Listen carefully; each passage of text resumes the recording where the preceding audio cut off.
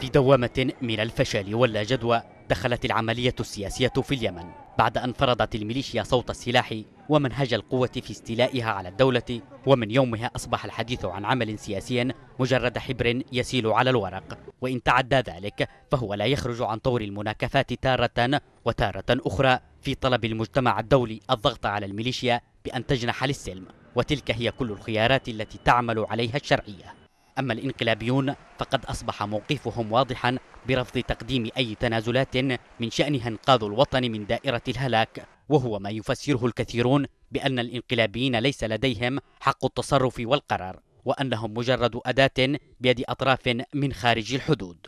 وفي ظل هذه الدائرة المفرغة من أي إنجاز تدور المواقف والتطورات السياسية منذ عامين لعل آخرها العودة الحزينة للمبعوث الأممي على حد وصف المبعوث نفسه وذلك بعد أن فشلت مساعيه الأخيرة في صنعاء على الأرجح. وعلى الطرف الآخر نفى رئيس الوزراء أحمد عبيد بن دغر تسلم الحكومة لأي مشروع اتفاق أو رؤية للحل من قبل المبعوث الأممي مؤكدا بأن الحكومة ستتعاطى إيجابيا مع أي جهود للسلام تأتي ضمن المرجعيات الثلاث المتمثلة بالمبادرة الخليجية ومخرجات الحوار الوطني والقرار الأممي 2216 وهو ذات الموقف الذي خرج به الرئيس هادي مؤخرا غير أن بن دغر أضاف على ذلك تجديد اتهام حكومته لاستمرار إيران في تقديم الدعم للإنقلابيين عبر تدريب مقاتلهم في إيران ولبنان علاوة عن تزويدهم المتكرر بالسلاح.